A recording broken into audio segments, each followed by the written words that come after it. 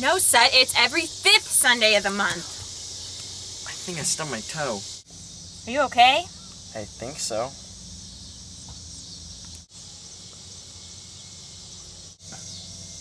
Ow. Ugh, this is not good.